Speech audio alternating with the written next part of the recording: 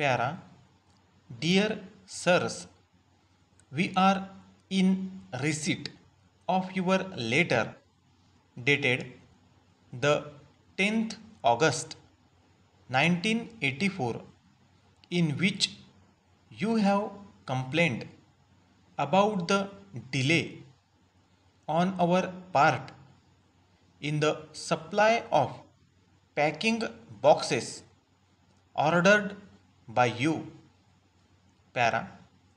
We are extremely sorry for the inconvenience caused to you in this regard, but we are rather forced to inform you that owing to a severe fire accident that occurred recently in our factory. Most of the packing material has been lost in the fire. This is the reason why we could not meet your demand.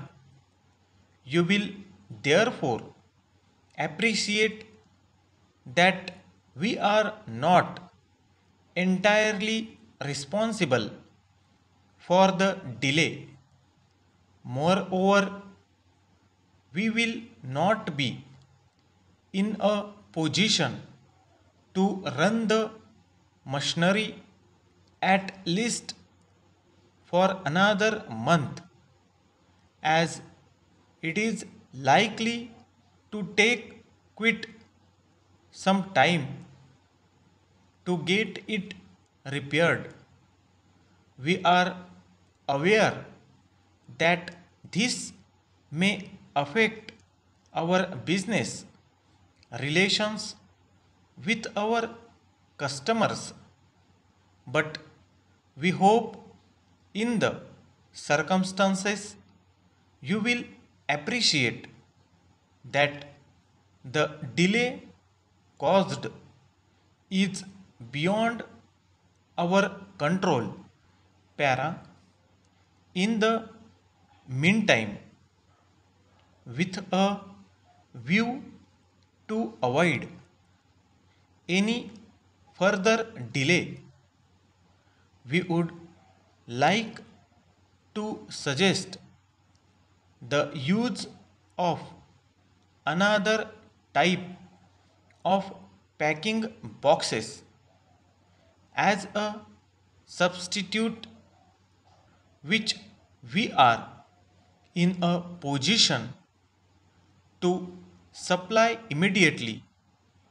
If you are agreeable to these suggestions we shall endeavor to deliver your maximum requirement at an early date while assuring you of our best attention at all times.